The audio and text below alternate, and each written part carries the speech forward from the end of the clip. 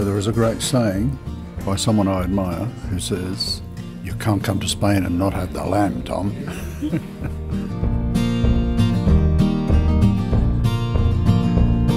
so, we have been recommended by our hotel to come to the Hotel Azofra.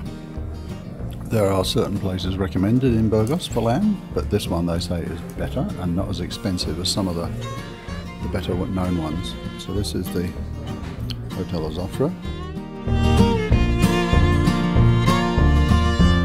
Look at this. This is where the lambs are getting cooked.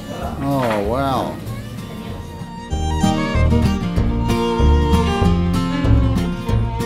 The lamb has been demolished.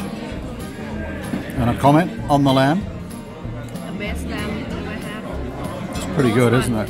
Very simple, but oh, awesome. I have to say, this is the best lamb I've ever tasted.